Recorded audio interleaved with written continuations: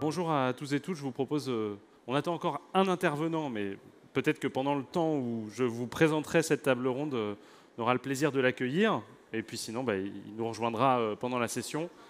Il faut qu'on commence à peu près à l'heure et qu'on finisse à peu près à l'heure, parce que derrière, il y a des gens qui, continuent le programme, le riche programme de conférences de cette matinée.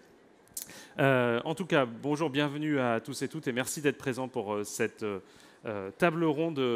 Euh, je, vois qu'il y a des gens qui commencent à connaître le, fonctionnement euh, de, de Bicast sur les trois sessions de, table ronde officielle d'Educatis qu'on a déjà eu l'occasion d'avoir.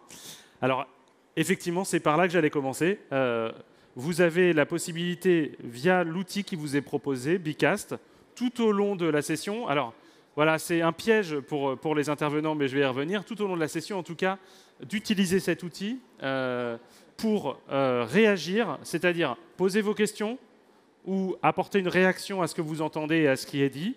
Là, je vois qu'il y a quelqu'un qui a déjà anticipé. Euh, c'est parfait. Euh, on peut faire un petit test, ce qui laisse aussi la, possibilité à- à notre troisième intervenant de nous rejoindre. Dès que je retrouve ma souris, voilà, elle est là. Je lance l'activité. Voilà. Un petit nuage de mots permet de vérifier que l'application fonctionne. La question est simple. Numérique et forme scolaire, qu'est-ce que ce titre évoque pour vous? Ça peut être un mot-clé. Voilà. Petite suite de mots qui fait un concept, pas trop, hein, parce que sinon ça bouffe le truc. Et si vous, euh, vous avez un mot-clé qui vous parle, eh ben, vous pouvez le réécrire et vous allez voir, ça va le faire grossir. On se laisse deux petites minutes hein, pour pas démarrer euh, en retard euh, sur la conférence. Voilà, vous avez commencé, c'est parfait. Et là, c'est un premier, premiers éléments que vous pouvez regarder, intervenants. Ceux-là, vous les avez sous les yeux, effectivement. Euh, ce que représente la question de la forme scolaire pour euh, les, gens qui sont venus euh, vous écouter ce matin. Ça peut être une manière, vous, vous pourrez y réagir aussi dans vos prises de parole tout au long de, cette table ronde. Alors l'autre point, je vous disais, il y a un petit piège, effectivement, j'ai découvert ça chemin faisant. Euh, J'étais très content de la dimension d'interactivité qui apparaît en bas. Dans votre retour écran, elle apparaît en bas aussi, mais vous avez un retour écran qui est coupé à cause de la scène. Et donc, vous ne voyez pas tout. Vous pouvez vous retourner pour voir euh, chemin faisant. Et de toute façon, c'est surtout mon travail de réagir aux, interventions et de vous poser les questions euh, qui, qui correspondent. J'en profite pour vous dire que justement, vous avez, une fois que cette activité sera terminée, un chat qui reste ouvert tout au long de, la session. Et donc, vous pouvez poser vos questions et vous pouvez aussi réagir aux questions des autres. C'est-à-dire que vous avez les petits boutons like. À chaque fois qu'il y a une question qui vous parle ou que vous auriez aimé poser ou voir poser, vous, la, vous la poussez euh, en avant en cliquant sur ce petit bouton. Et moi, comme ça, je pourrais vérifier quelles sont les questions qui font consensus dans la salle et, et qui sont des objets qu'on n'a pas suffisamment traités euh, dans l'échange et dans la conférence, et donc les, poser euh, à, nos, intervenants. Voilà. Euh, bon, bah, je vois que tout le monde a bien joué le jeu de, de cette activité. Je vous laisse 10 secondes pour mettre vos derniers mots, et puis je termine l'activité.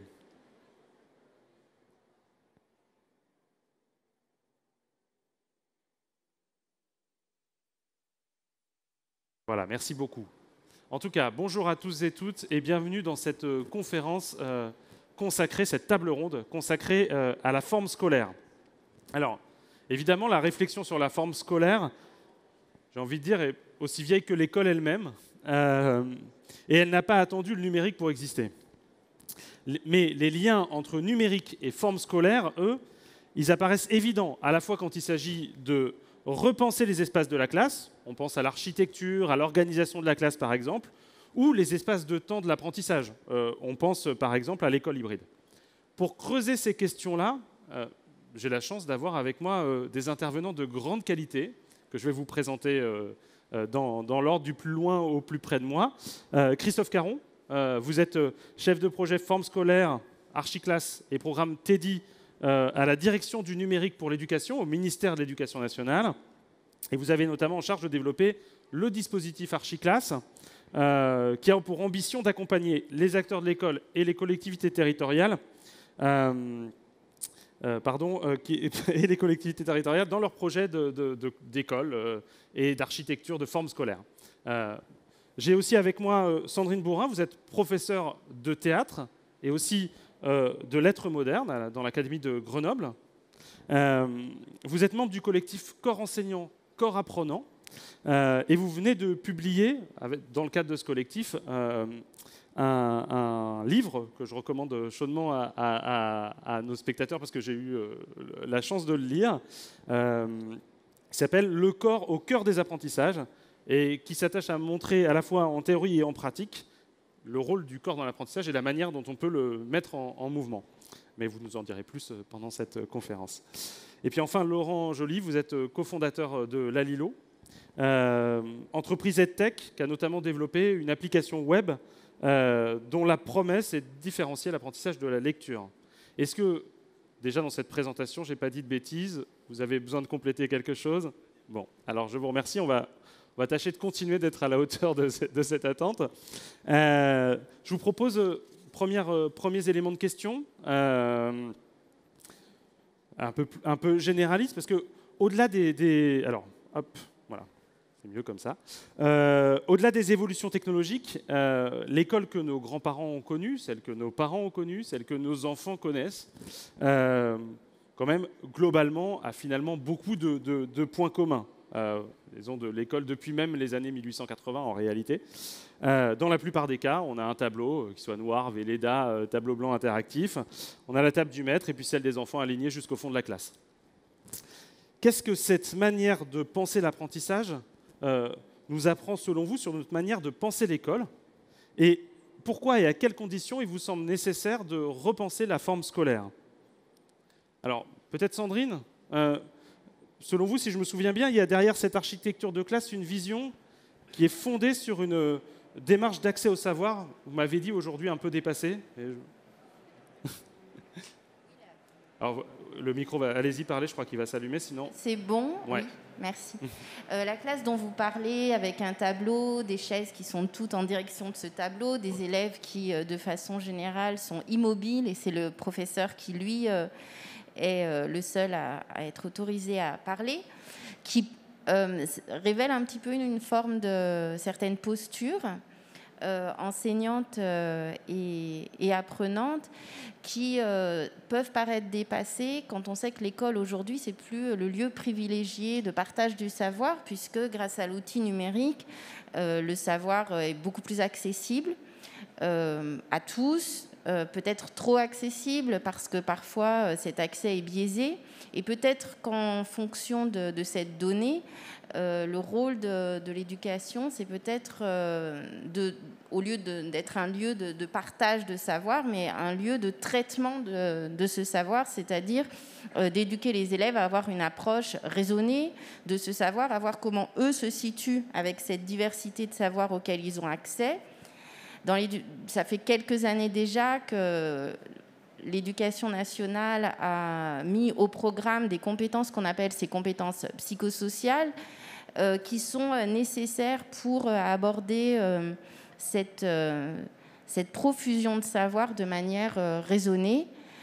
puisque au nombre de ces compétences psychosociales, on trouve la pensée critique, la conscience de soi, la conscience de l'autre. C'est-à-dire qu'il y a un besoin qu'on observe nous aussi dans les classes pour les élèves de se situer par, par rapport à cette profusion de savoir auquel ils ont accès en dehors de l'école. Donc il y a une externalisation des savoirs, il y a une multiplication des lieux de savoir qui fait que la classe n'est plus le seul endroit euh, où on a cet accès, mais au contraire, c'est le seul endroit où nous, professeurs, on a accès à ces élèves pour pouvoir travailler avec eux les compétences qui leur permettent d'avoir une approche raisonnée et par rapport à laquelle ils peuvent aussi se situer. Voilà. Merci euh, beaucoup. Peut-être euh, Christophe euh, cette, question, elle est au cœur de votre travail au sein du ministère de l'Éducation nationale. Est-ce qu'au-delà de ce que vient nous dire Sandrine, cette forme scolaire ne nous dit pas également quelque chose du rôle de l'enseignant? Alors, à mon sens, alors je suis complètement d'accord avec ce qu'a dit Sandrine. On est, on est quand même sur une question de représentation. C'est-à-dire, qu'est-ce que, qu'est-ce que l'acte d'enseigner on, voilà, on, a l'héritage de la classe simultanée depuis plusieurs siècles. Et donc, euh, il va falloir euh, sortir un petit peu de cette représentation. Qu'est-ce que c'est -ce que qu'enseigner? Est-ce que c'est vraiment transmettre encore les, euh, connaissances, surtout à l'ère du numérique? Et aussi la représentation de qu'est-ce que c'est que, que, créer une, école ou une salle de classe. Et ce qui est, ce qui est assez euh, amusant, c'est que quand vous recherchez sur Internet la classe de futur, sur un moteur de recherche, vous allez avoir des élèves face à un enseignant avec tout un arsenal de, numérique, mais toujours dans une position frontale. Voilà. Donc là encore, on est sur une représentation.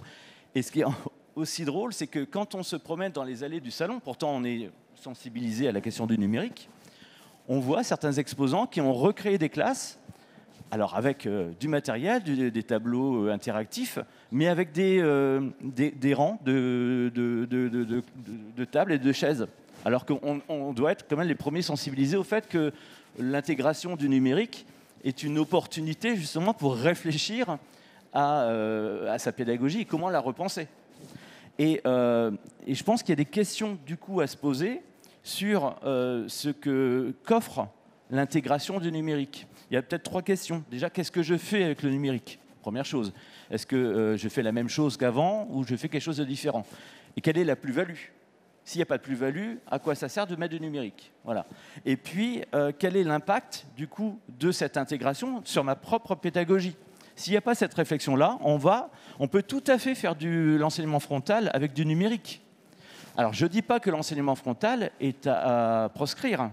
On a toujours besoin de moments où on est dans la transmission, où on est. Euh, mais la question peut-être à poser, c'est est-ce que cette euh, posture doit encore être la norme. Et c'est un peu le souci, c'est que euh, cette disposition en, autobus, elle est comprise aussi quand on est en formation d'enseignant, euh, ou même par les collectivités, comme une norme. Après, on peut faire autre chose. Mais pourquoi ça serait comme ça? Pourquoi on ne pourrait pas penser autrement? Et donc, euh, il faut je pense, partir sur une réflexion pédagogique sur les, atouts, ce qu'apporte le numérique en termes d'autonomie des élèves, en termes de personnalisation des parcours et en termes d'offres de, de, situations euh, de travail, d'apprentissage motivantes pour les élèves. Quand on a par exemple la chance de pouvoir bénéficier euh, d'un studio média web TV, on va intégrer le numérique dans sa pratique et on va proposer aux élèves des situations où ils vont devoir écrire, parler, réfléchir, etc., mais dans, dans une, une situation qui n'est pas forcément euh, frontale. Voilà. Et donc, vous posez la question des conditions. Pour moi, la première condition, avant toutes les autres, c'est celle de la réflexion pédagogique. En tant qu'enseignant, qu'est-ce que je vais, euh, euh, sur quelle piste je vais, je vais travailler? Ça demande un vrai travail de réflexion pour essayer de repenser euh, ma pédagogie.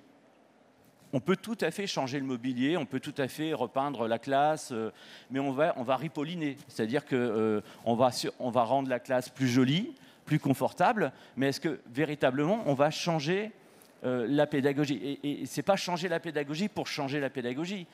On va permettre aux élèves d'être dans une, un rôle qui est différent, c'est-à-dire ils vont être moteurs, ils vont être acteurs, voilà. Et ça veut dire aussi que l'enseignant doit aussi s'interroger sur son propre rôle. Est-ce qu'il est, comme le, dit Sandrine, simplement dans une position de, transmission ou d'apport de culture euh, et de connaissances On voit que, comme, elle l'a dit, on peut trouver ces informations-là ailleurs. Hein. Euh, donc voilà, il y a toute cette réflexion-là. Et surtout, euh, en lien avec les collectivités, il est important, il est même primordial que les acteurs de l'école, alors enseignants, chefs d'établissement, parents d'élèves, etc., et les collectivités ne travaillent plus en silo. Parce que souvent, on a les acteurs de l'école qui réfléchissent à la pédagogie, à ce qu'ils font, et de l'autre côté, on a euh, les collectivités qui font un, vrai travail de réflexion aussi sur la façon de concevoir des établissements scolaires, des écoles, mais par contre, ces deux mondes-là ont beaucoup de mal à échanger, à, se parler. Et donc, c'est là tout l'intérêt d'un dispositif comme Archiclass, c'est de se dire, ben, maintenant, on va échanger, on va se mettre autour de la table et on va essayer, on va essayer de se connaître davantage, surtout en termes de besoins, d'exigences, de pratiques. On met tout ça autour de la table et on essaie de, co-définir, de, mieux se connaître. collectivité, moi, je vais mieux connaître vos besoins, vos pratiques pédagogiques. Et nous, enseignants, on va essayer de s'insérer dans un projet avec des contraintes, avec euh, une, identité euh, territoriale. Voilà. Merci beaucoup. Euh, peut-être Laurent, parce que on va parler dans quelques instants de, classe à distance, mais l'application que, vous avez créée, elle a été créée au départ dans un contexte de présentiel. cette question que, vient d'évoquer Christophe, finalement, de, transformation de la forme scolaire avec le numérique. que, comment vous, vous le vivez euh, du côté de chez Dalilo? Qu'est-ce que bah, ce que, j'ai à dire n'est pas tellement différent de ce, que, euh, de ce que vous avez déjà présenté. Je pense qu'on a, on a un fort consensus sur euh, ces problématiques, donc je vais plutôt peut-être reformuler les choses différemment nous, on, se pose, on, essaie de partir d'un problème. C'est-à-dire qu'on essaie toujours de, se dire, bon, bah, qu'est-ce qui, euh, qu'est-ce qui fonctionne pas? Pourquoi est-ce qu'on essaierait d'apporter de l'innovation hein, C'est ce qu'on disait. C'est pas euh, apporter du numérique dans une salle de classe euh, pour le, pour apporter du numérique. c'est pas une fin en soi.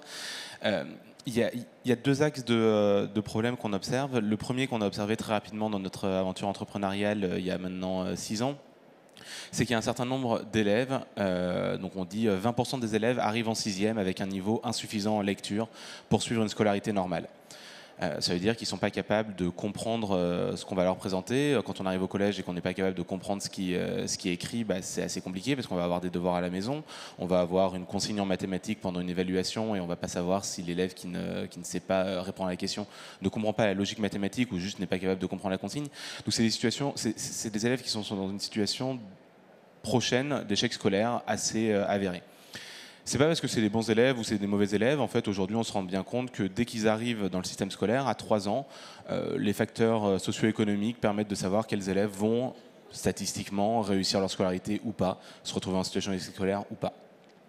Je pense qu'il y a euh, de, ça de, nombreuses dizaines, voire centaines d'années, on considérait ça comme acceptable. On disait bon bah il faut qu'il y ait des, faut y ait des ouvriers, il faut qu'il y ait des cadres. c'est normal qu'il y ait des gens qui échouent leurs études et in fine leur, leur vie professionnelle. Aujourd'hui, on considère plus ça comme acceptable. je pense. On considère que l'égalité des chances c'est quelque chose qui a plus de valeur que ça. Et ce qui pose de plus de problèmes euh, aujourd'hui, c'est qu'on voit des pistes de solutions. On parle d'individualisation, on se rend compte qu'en fait, certains élèves, si on réussit à les récupérer suffisamment tôt, à les accompagner à leur niveau, à leur rythme, on peut leur faire rattraper le niveau d'une classe, on peut leur faire réussir leur scolarité. Donc on considère que ce genre d'échec n'est plus acceptable et qu'on a des solutions. C'est ça qui pose aujourd'hui problème et c'est ça qu'on va chercher avec le numérique. Pas du numérique, effectivement, pour le numérique. C'est juste qu'on a une solution à un problème qui existe depuis longtemps mais qui, était très difficile à, résoudre, même si euh, il y a on encourage évidemment à s'adapter à chaque élève depuis très longtemps. C'est quelque chose de très difficile que le numérique va réussir à faciliter.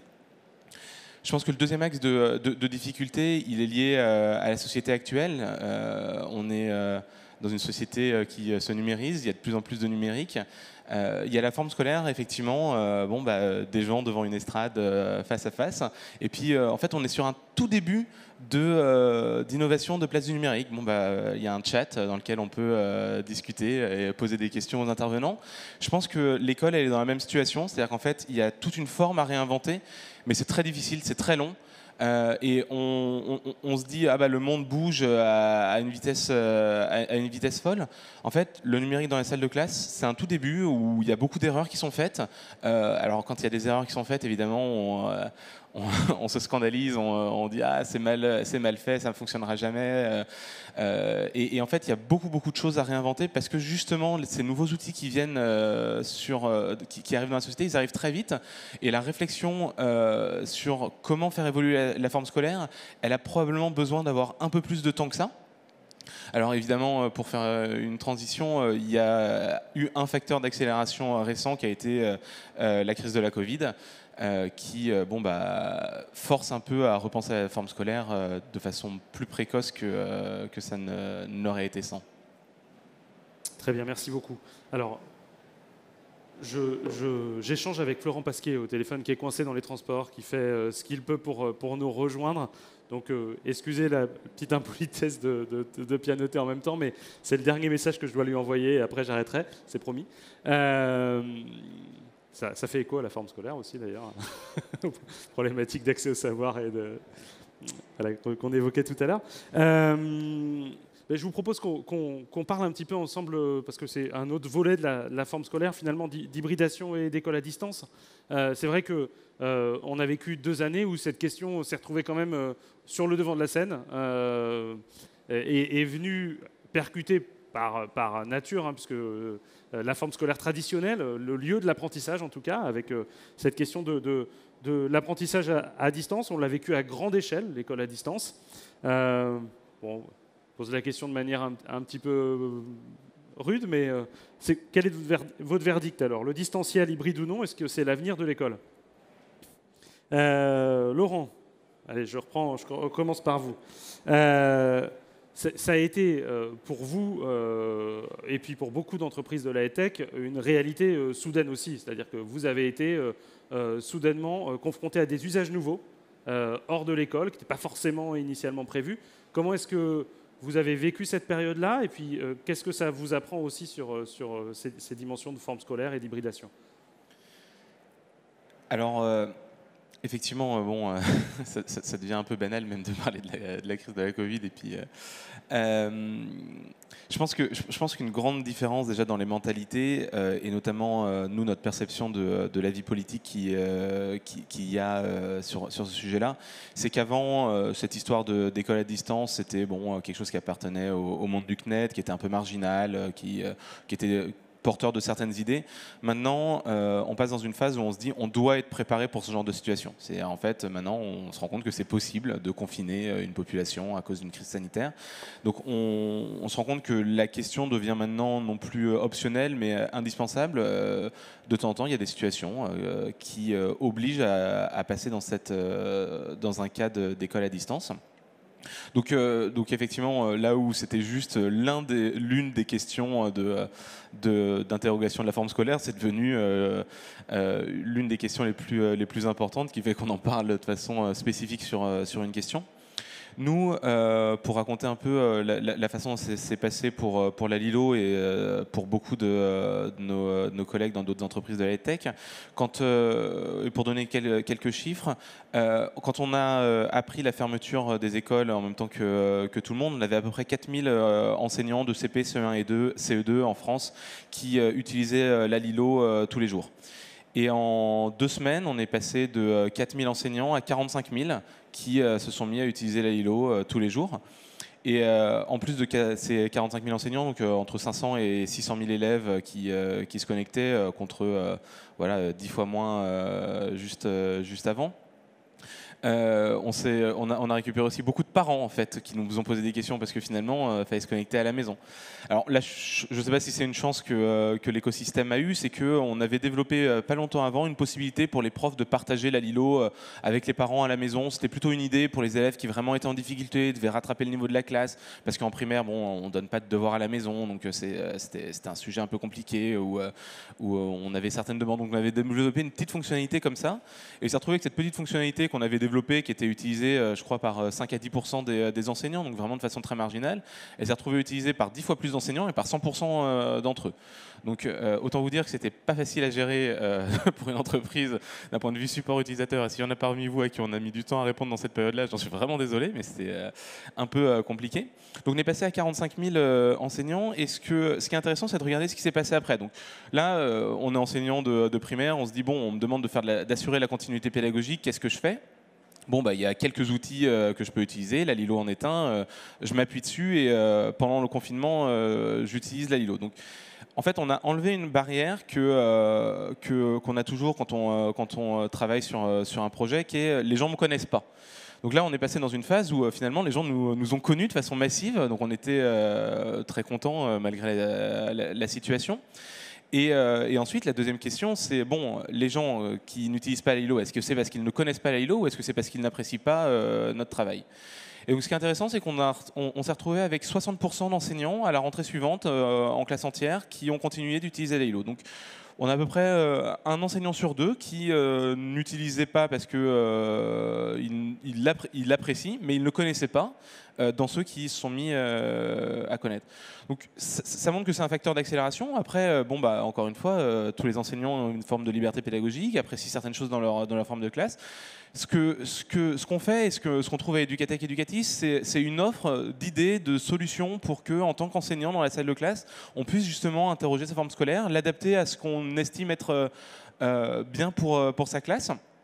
Et, je pense que la, première barrière à réussir à, faire sauter, c'est celle de la connaissance, c'est de savoir bon, bah, qu'est-ce qui existe et qu'est-ce que je peux avoir comme outil, ce qui est très compliqué, hein, parce qu'on n'a pas le temps non plus en tant qu'enseignant de, trouver cette chose-là. Et pour ce qui est de l'hybridation, bah, il se trouve que nous, euh, cette fonctionnalité qui permet de continuer euh, à la maison d'utiliser la Lilo, euh, bon, bah, elle est retombée à 20% d'usage parmi, parmi nos enseignants. Donc ce n'est pas une fonctionnalité qui est, qui est, primordiale. Pour ce qui est du primaire, parce que je connais que, que le primaire, l'hybridation, très franchement, ce n'est pas forcément quelque chose qui, qui prend. Je ne suis pas sûr que ce soit quelque chose de, qui, qui, fonctionne très bien, même dans les années à venir. Après, il y a une difficulté qui est, on a, toujours pensé un outil pour la salle de classe. De la même manière qu'on parle de la forme scolaire, en fait, quand on crée un outil, on le crée en pensant aussi à un univers, à des utilisateurs. Euh, c'est pas un, outil qui est pensé pour la salle de classe, c'est pas un outil qui est pensé pour les parents, c'est pas un outil qui est pensé pour l'hybridation. Il n'y a pas beaucoup d'outils pour le primaire qui ont été pensés pour, euh, pour cette forme-là. Donc peut-être que c'est à cause du manque d'outils que cette forme euh, ne prend pas forcément plus que ça euh, hors euh, période de confinement. Mais outre ça, j'ai pas l'impression qu'en primaire, ce soit vraiment une direction très porteuse. Merci beaucoup. Sandrine, quand on a commencé à échanger ensemble sur sur cette question de, votre présence même euh, à cette conférence. Au départ, vous m'avez dit, mais pourquoi est-ce que vous pensez à moi euh, Et très rapidement, dans l'échange, on s'est rendu compte que, bah, notamment en commençant à parler de ce, ce, cas limite de l'enseignement à distance, qui est pour vous un vrai cas limite au fond, hein, puisque on est habituellement, vous êtes sur la réflexion corps enseignant, corps apprenant, donc la réflexion du corps dans l'apprentissage. Et là, effectivement, tous les corps sont à distance. Vous avez vécu en tant qu'enseignante finalement euh, euh, cette période aussi euh, d'enseignement à distance. Avec quelles conséquences? Alors les, conséquences n'ont pas été très avantageuses. on, a tous été éprouvés, autant les enseignants que les élèves, et appelés à une énorme adaptabilité à laquelle on n'était pas du tout. Euh, pour, les, pour les enseignants comme pour les élèves, la, période euh, a, cloué un peu les personnes sur leur chaise devant leur écran. Euh, nos élèves sont devenus des noms sur la gauche dans une barre quand on pouvait faire des classes virtuelles ou des travaux qu'on récupérait. Donc il y a eu une forme de désincarnation de l'enseignement. La, la, relation apprenant et enseignant était tout, dématérialisé. Ce qu'on a pu voir, alors d'abord, juste pour revenir sur l'enseignement à distance, la classe à distance, c'est quelque chose euh, pour les gens qui sont enseignants qui, a, de, qui peut prendre des formes très différentes en fait, hein, entre la classe virtuelle, euh, le, travail des élèves qui est donné à, distance, ou alors une forme hybride qui alterne présentiel et, et distanciel. Ce sont des formes à traiter chacune dans leur euh, particularité, et ça encore rien à voir avec l'utilisation d'un outil numérique dans la classe. Dans toutes ces formes-là, euh, la question qui nous occupe dans, le, dans le collectif dans lequel je fais partie, c'est quel est le rapport au corps et au corps, à son propre corps et au corps de l'autre qu'on peut maintenir et qui permet une communication efficace et un bien-être euh, durable. Euh, pendant la crise de la Covid, euh, les élèves l'ont dit, leur problème était rarement disciplinaire ou in fine disciplinaire, mais le problème qu'ils avaient, c'était se mettre au travail, persévérer dans le travail, et puis au bout de quelques semaines, tout simplement maintenir un rythme dans la journée, parce qu'il y a des élèves qui étaient seuls dans la journée, tout le monde n'avait pas ses parents euh, en distanciel. C'est dire que la, forme scolaire comme élément structurant dans la, dans la vie de jeunes, il y, avait, il y a des jeunes même qui, me disaient qu'en fait, eux dormaient le jour pour avoir un moment d'intimité, parce qu'il y avait tellement de personnes à distance euh, chez eux, euh, que en fait, eux dormaient le jour et étaient en éveil la nuit pour pouvoir un espace, avoir un espace à eux. Donc on a vu à l'issue de cette, euh, de, cette période que l'école avait vraiment un rôle structurant sur les rythmes d'apprentissage, mais aussi sur euh, l'alternance entre distraction, concentration. L'autre chose qui est apparue, c'est que cette relation euh, entre enseignant et apprenant, elle ne peut pas être dématérialisée parce que l'enseignant par-delà le rôle disciplinaire qu'il a et qui est celui auquel on est formé, c'est aussi un levier important pour la motivation, pour l'attention et pour des formes de rétroaction, de remédiation qui engagent les individus dans leur intégralité et aussi dans ce rapport qu'on peut avoir au corps. Donc il y a tout un travail qui se fait beaucoup en lien avec euh, la réforme des espaces scolaires pour réintroduire du mouvement dans la classe. Donc ça impose évidemment un changement euh, des espaces et euh, dans la formation initiale des enseignants pour former et les enseignants et les élèves à cette adaptabilité et à ce rapport à soi qu'il faut contrôler à chaque fois qu'on nous demande des situations d'enseignement différentes. C'est-à-dire qu'à distance, j'en parlais tout à l'heure avec avec des personnes de la, Lilo, je demandais, mais est-ce que vous prévoyez des, pauses actives, des moments où dans le micro, on dit, bon, maintenant tu te lèves et euh, tu, vas mettre, parce qu'on a besoin de ces pauses-là. Alors dans l'éducation nationale, au bout de deux, trois semaines, on nous a envoyé, je ne sais pas si ça a été le cas pour vous, une application euh, avec, euh, pour faire 10 minutes d'exercice. Oui, et on était pendant 10 minutes, c'est le, rectorat qui avait produit ça, pour que nous-mêmes, on, revienne aussi à notre corps, parce qu'on a plein d'enseignants, en fait, ils étaient enfin, ils avaient des problèmes physiques par rapport à ça. Donc c'est à cette adaptabilité, je pense qu'il faut qu'on se prépare, nous enseignants, à pouvoir être formateurs. On nous évalue, nous, par compétences. On, nous demande d'évaluer les élèves par compétences. Et il faut qu'on arrive à établir une forme de didactique par rapport à ces compétences qui ne sont pas disciplinaires, euh, qui paraissent parfois un petit peu euh, ésotériques, la confiance en soi, la confiance de soi, mais qui sont celles qui font qu'on peut avoir accès à ces outils numériques sans euh, avoir une présence qui devient problématique. On le voit un petit peu avec ces questions de réseaux sociaux où le corps est exposé, mais d'une manière très maîtrisée, parcellaire. On va voir une partie, on va se mettre en scène dans ces images-là avec les questions de cyberharcèlement qui imposent quand même une réflexion pour les enseignants et pour les élèves sur euh, la manière qu'ils ont d'être dans leur corps et de le partager dans un espace de classe. Euh, on ne maîtrise pas ou très peu en fait la, part du corps qu'on met en public. On est là et on est vu euh, dans les réseaux sociaux, dans les classes virtuelles les écrits, on le sait tous, euh, beaucoup plus générateurs de polémiques, envoyer un mail quand ça va pas que de discuter directement avec les personnes, tout simplement parce que la communication, elle est, je crois que les chiffres, c'est à plus de 55% non verbal. C'est-à-dire que dans un message, il y a 5% qui est verbal et puis tout le, reste relève de l'intonation et de la présence corporelle. Quand on sait ça, l'école à distance, on en voit les limites. Alors là, je ne parle pas spécifiquement de l'utilisation des outils numériques qui, devraient, enfin, qui pourraient aussi intégrer cette prise en compte. Christophe, on, a, effectivement, comme le, comme le dit euh, euh, un spectateur, un gros pavé dans la mare là, sur l'école à distance de nos deux, de nos deux intervenants précédents. Mais euh, je, je, voudrais répondre un peu à ce que dit Sandrine. Bien sûr ce qui m'a frappé, alors euh, il n'y a aucun jugement de ma part, hein, mais euh, quand on a, on a eu cette période d'école à distance, un des premiers réflexes que les enseignants ont eu, et c'est complètement normal, c'était aussi de, se mettre euh, tous ensemble, quelque part on reproduisait le frontal, c'est-à-dire on, était tous devant la caméra et on parlait, on retrouvait la classe, mais en frontal et via, la caméra. C'est-à-dire que pourtant, on a depuis de longues années maintenant l'expérience de la classe inversée, qui euh, peut nourrir la réflexion sur ben, qu'est-ce qu'on peut faire en distanciel.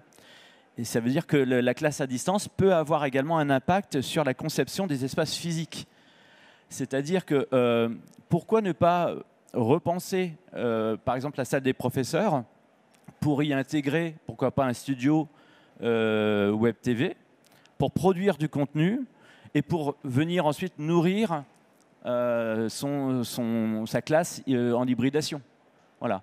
Ça veut dire que voilà, cette réflexion sur la classe à distance, elle a également tout son intérêt sur la conception même des espaces physiques de l'école. Ce que je pouvais dire. important du coup de, lier euh, réflexion sur la forme scolaire, y compris sur l'école à distance, et réflexion sur la pédagogie. Et finalement, la question, ce que vous êtes en train de nous dire, c'est que ce n'est pas seulement une question d'outils et de tuyaux, euh, c'est une question peut-être de réinvention aussi euh, la manière dont on enseigne, et, ça reboucle la boucle de ce qu'on racontait au tout début de, cette conférence. Je vous propose de faire une toute petite pause question, parce qu'on on a dans la, dans, la, salle quelques quelques réactions et qui suscitent euh, euh, pour, euh, un certain nombre d'entre elles bah, un intérêt de, la salle. Donc il me semble que c'est intéressant de, de, vous les poser. On parlait pédagogie par exemple. Cette question de l'école à distance, vous, nous dites que c'est peut-être aussi, et on l'a peut-être pas assez interrogé là dans la discussion, ça pose aussi la question des, parents dans la pédagogie, du rôle des parents dans la, pédagogie, en tout cas dans, dans le partage des savoirs. Euh, c'est la question telle qu'elle est posée. J'imagine que derrière, il y a une question euh, de mobilisation des parents dans l'école, une question d'inégalité. Laurent. Ouais, je, je veux bien commencer euh, sur, euh, sur cette question-là. Euh, effectivement, nous, nous donc, comme je le racontais, on, s'est retrouvé à avoir beaucoup plus d'enseignants et, et, en fait, on a eu surtout beaucoup plus de parents. C'est-à-dire qu'en fait, alors, nous, on l'a pas vécu côté, côté enseignant, je ne l'ai pas vécu non plus côté, côté parents, mais on a, on a eu cette situation où bah, l'enfant, pendant la journée, au lieu d'être à l'école, il est à la maison.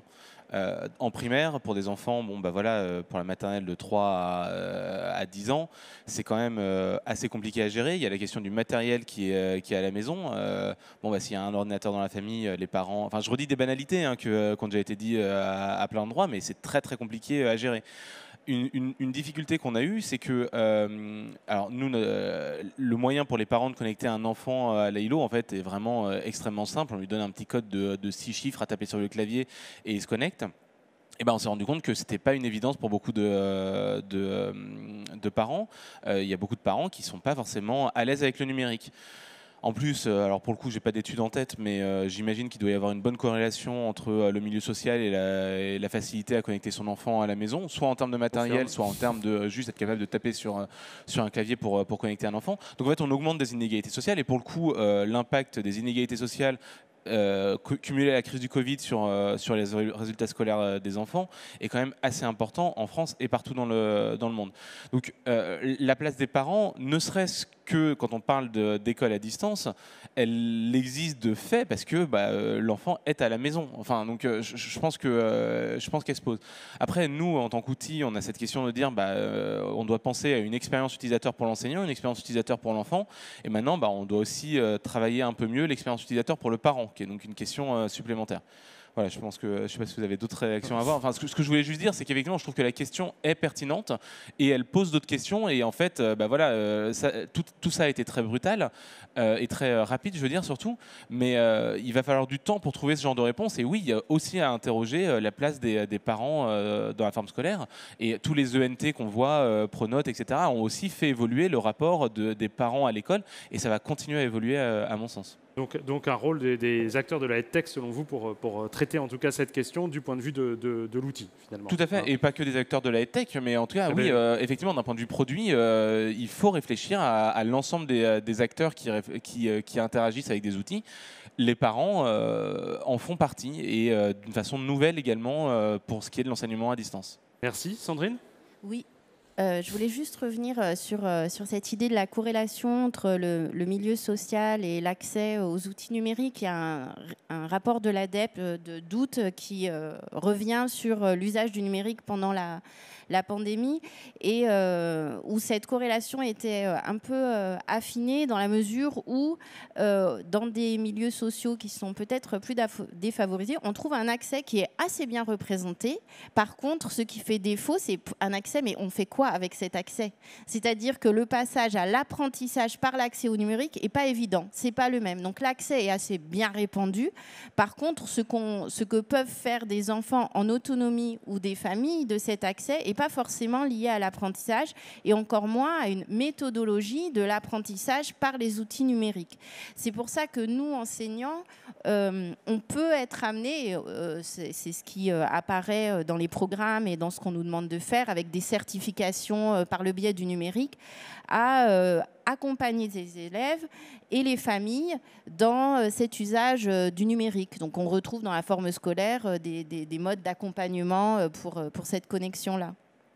Donc évidemment que les parents, euh, euh, ils sont associés de façon euh, inhérente à cet apprentissage à distance, mais c'est aussi notre rôle de, de, les accompagner pour que l'apprentissage soit une préoccupation partagée et une méthodologie partagée. Sinon, ça devient très compliqué. Christophe, une petite minute, parce que j'ai une autre question à vous poser.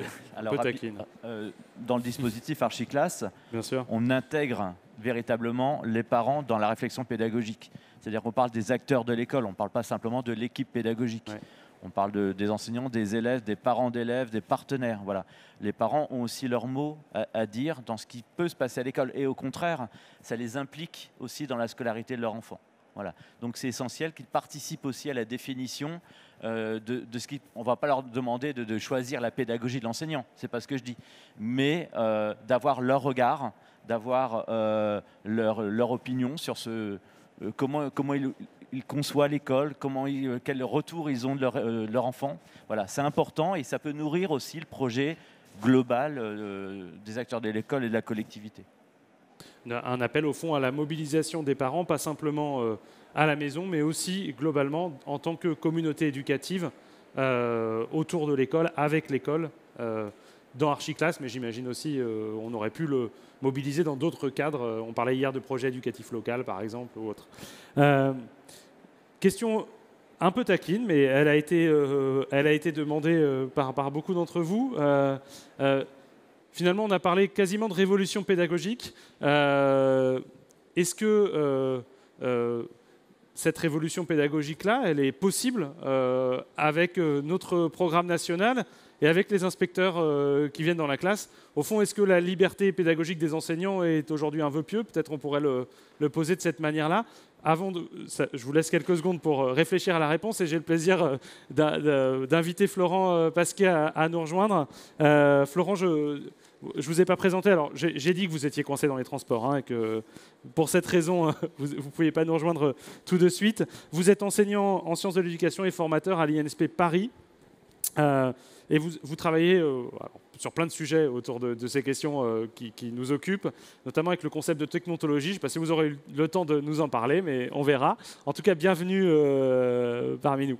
alors, sur la question que, que vous avez entendue, qui tente quelque chose? Moi, je viens. Euh, je ne pense pas que les programmes enferment sur une, méthodologie ou une pédagogie particulière. Euh, ce sont des compétences à acquérir, ce sont des connaissances également à connaître.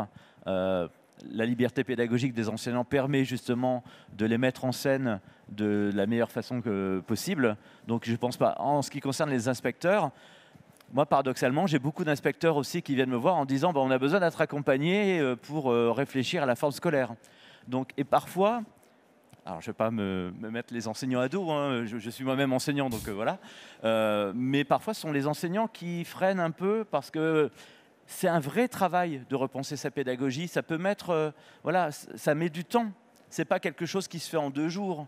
Euh, on a besoin d'être accompagné, on a besoin d'être formé. Et je pense que c'est aussi le rôle des inspecteurs que d'accompagner les enseignants dans justement cette formation, ce regard sur euh, d'autres pédagogies. Il ne s'agit pas de tout révolutionner, de changer, d'abandonner sa pédagogie, mais de la faire avancer au regard justement de l'intégration des outils numériques, par exemple. Sandrine, je vous en prie. Oui, je, euh, voulais dire que peut-être que parfois c'est plutôt l'inertie du système et l'habitude qui euh, fait qu'on s'autorise pas certaines choses. Euh, ça fait euh, peut-être 4-5 ans que dans, les réunions euh, sur le, projet éducatif ou sur les programmes, euh, on peut avoir des intervenants euh, qui expliquent pendant plus d'une heure que le bien-être des élèves, l'utilisation de la pleine conscience en classe, la pédagogie active et fondamentale, c'est quelque chose, moi, quand j'ai commencé dans l'éducation nationale, dont on m'a jamais parlé, où je suis prof de lettres et j'ai fait des lettres et de la littérature jusqu'à ce que je me sois retrouvée devant des classes. Jamais j'ai appris euh, par l'institution des éléments sur la psychologie de l'adolescence.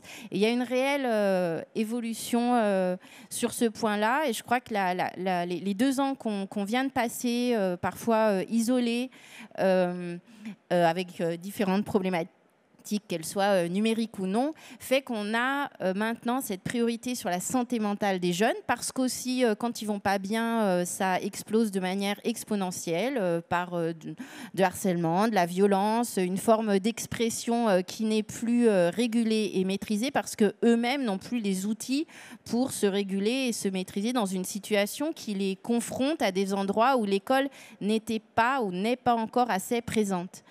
Donc, euh, je reste quand même optimiste parce que je, vois que dans les endroits auxquels dans lesquels on a encore euh, l'opportunité de discuter pédagogie, euh, ces, questions de, de bien-être et d'une autre approche de soi commencent à avoir une certaine légitimité.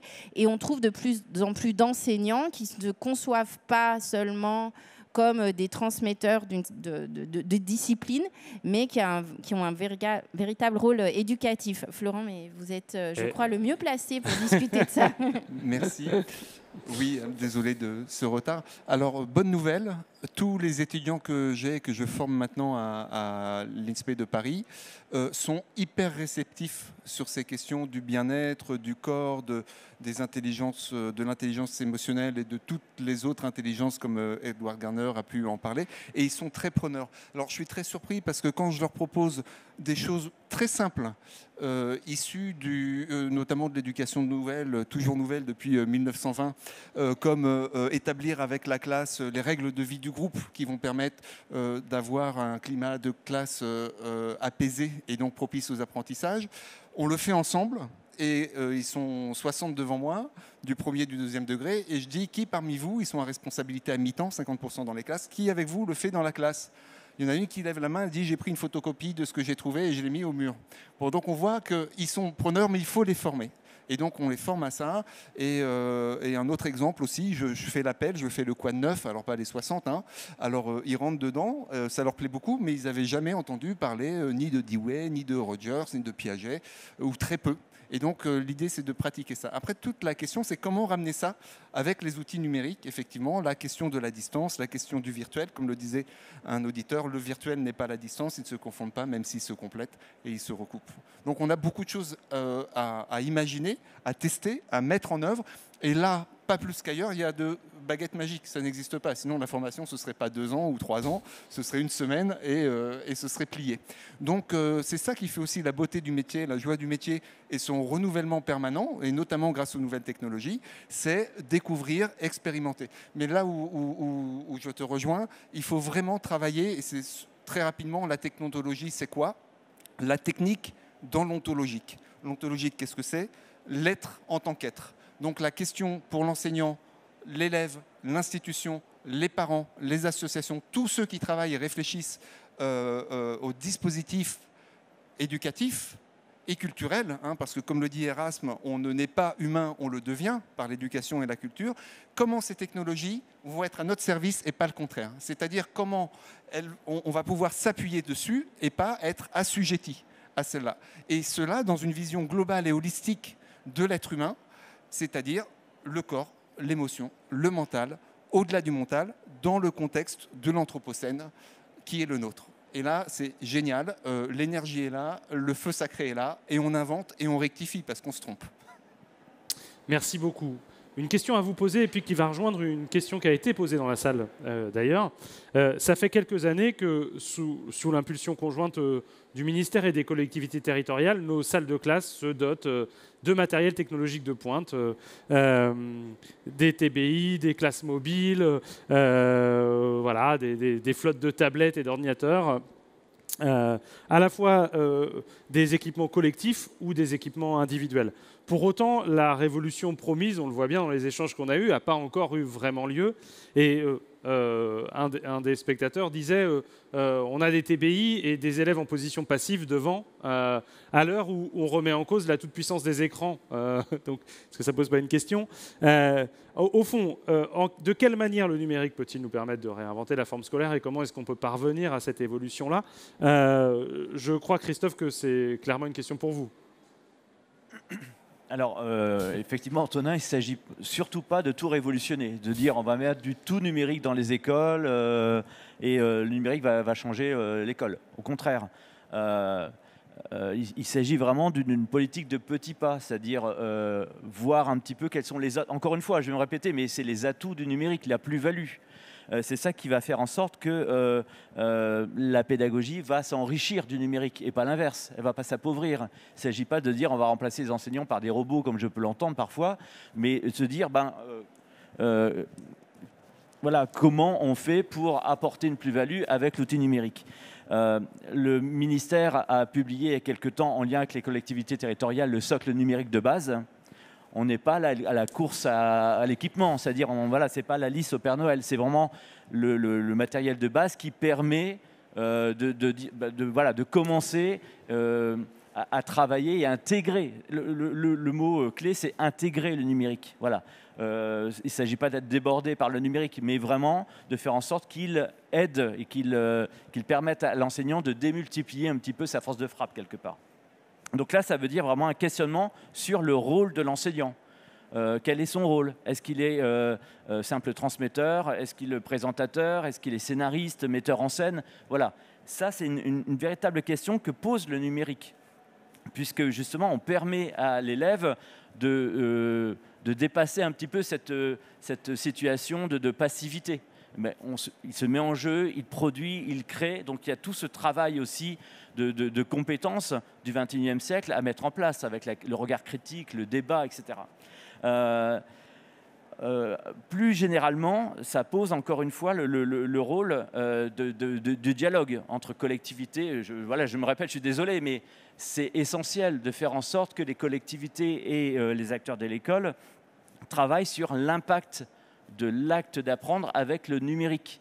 Ça impacte la pédagogie, du coup ça impacte les espaces. Voilà, ce n'est pas, euh, pas un impact direct sur, euh, sur les espaces, puisqu'on l'a vu, on peut rester complètement en frontal.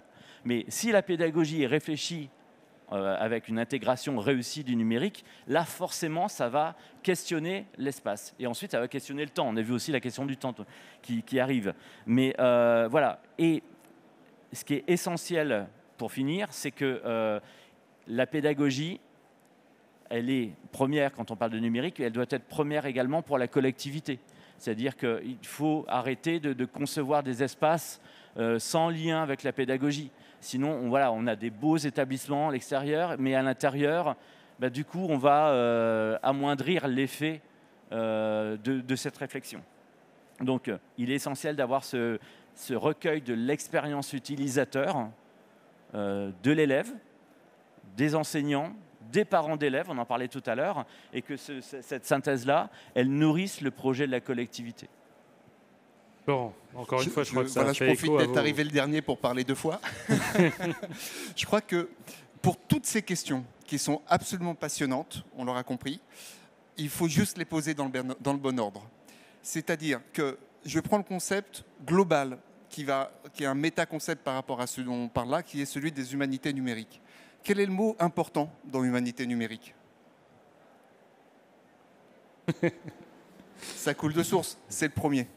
Si on résout vraiment, si on est au clair par rapport à qu'est-ce que c'est qu'un être humain, c'est le reste du monde qui vient à lui, c'est pas à lui d'aller se perdre dans le monde. À partir du moment où l'enseignant qui peut devenir éducateur, qui peut devenir accompagneur, qui peut devenir pourquoi pas coach, ça dépend des niveaux, etc.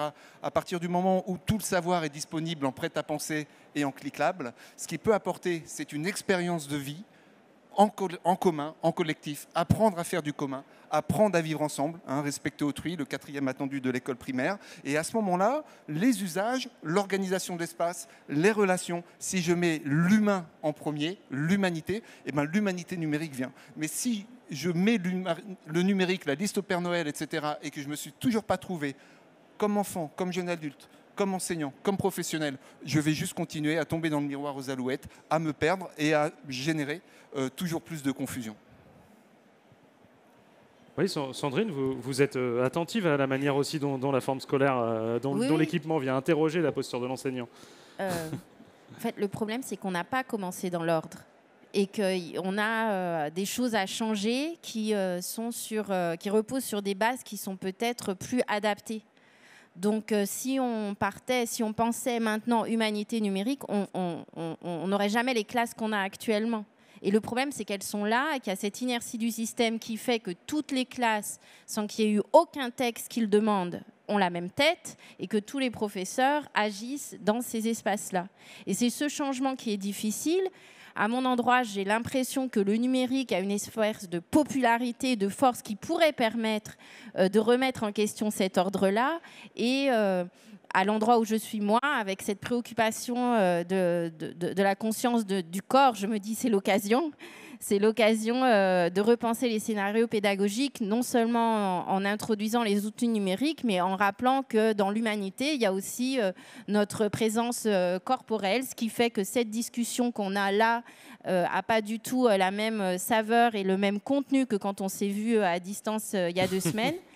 Et je, voilà, je pense que le problème, c'est qu'on n'a pas commencé par le début et que ce changement-là, il demande beaucoup plus euh, de force, d'énergie, parce que euh, nous, on a été éduqués et formés dans un système qui n'est pas celui qu'on veut transmettre. Et ça, c'est compliqué aussi. Euh, Laurent, quand on a préparé cette table ronde, vous m'avez dit, je crois qu'une une des difficultés, c'était souvent de réduire cette question forme scolaire et numérique finalement à l'équipement, au hardware. Oui, effectivement. Oui, oui, effectivement, c'est un, point qui est, assez important, mais on, l'a finalement euh, évoqué. Et puis, euh, avec Florent, euh, un, des messages qu'on essaie de, faire passer, c'est qu'il ne s'agit pas de mettre des ordinateurs, des tablettes dans les classes, que ce soit du socle de base ou, très avancé. À un moment, il y, a un triptyque sur lequel s'appuyer, qui est la formation des enseignants. Et quand on dit des enseignants, c'est l'ensemble des acteurs de, l'éducation. On parlait des, dans la question des, des inspecteurs et d'autres acteurs. Et des ressources. C'est-à-dire qu'en fait, euh, s'il y a une coquille vide dans une salle de classe, on va jamais rien réussir à faire. Et notre sentiment dans notre secteur, c'est que c'est des erreurs qui ont été faites à maintes reprises, de mettre des ordinateurs dans les salles de classe, maintenant des tablettes, sans réfléchir à, au contenu, à ce qu'il y a à mettre dedans, et finalement sans réfléchir à la forme scolaire qui va, qui va autour. Je voulais juste répondre rapidement aussi sur, sur la question sur les inspecteurs, etc. Nous, on trouve quand même que la structure hiérarchique euh, de, l'éducation nationale avec des référents numériques, des inspecteurs, des experts, pédagogiques est assez pratique pour réussir à diffuser du, euh, savoir parce que bah, finalement, en tant qu'enseignant, on n'a pas forcément le temps d'aller se renseigner sur tout ce qui existe. Il y a une vraie connaissance à, absorber et je trouve que c'est assez euh, pratique de pouvoir bah, finalement avoir des gens dont c'est la fonction de, de, diffuser ces informations. Alors évidemment, ça rajoute des, chaînes de, communication, mais finalement, il y, y, a quand même un vrai intérêt à ces rôles-là qui se réinventent également euh, eux aussi euh, euh, dans, cette nouvelle structure. Merci beaucoup. J'ai une dernière question à vous poser. Je vais vous prendre un peu de cours, tant pis. On est en 2021, donc vous savez que 2021, c'est l'année qui précède 2022. imaginez, l'année prochaine, le nouveau ministre de l'Éducation nationale ou la nouvelle ministre de l'Éducation nationale vient vous voir et vous dit Bon, je vous ai entendu à Educatec Educatis, ce que vous avez dit, je trouvais ça passionnant. bon, par quoi il faut que je commence? Que vous lui répondez Florent Allez, une réponse rapide et provocatrice. une bonne nouvelle, on va avoir un nouveau ministre. Euh, par quoi je commence? Je commence par la low-tech. Ce n'est pas la high-tech, c'est la low-tech. Le coût économique et environnemental de la high-tech est maintenant trop élevé pour qu'on puisse se permettre de faire n'importe quoi avec. Qui veut prendre la suite? C'est de votre place, hein, c'est pas une question euh, politique forcément. Hein. Alors, euh, s'il y avait en 2022, dans les, écoles de formation des enseignants, et dès le cycle initial, on aurait euh, deux heures de cours de créativité par jour parce que c'est avec cette créativité qu'on est capable de s'adapter à des situations euh, très diverses, parce qu'un enseignant qui serait euh, formé à la créativité euh, n'hésiterait pas à bouger les tables, les chaises, à les mettre dehors, à lever ses élèves, et parce qu'avec un peu plus de créativité et d'audace, on ne subirait pas l'inertie du système. Mais ce serait la même chose pour les élèves.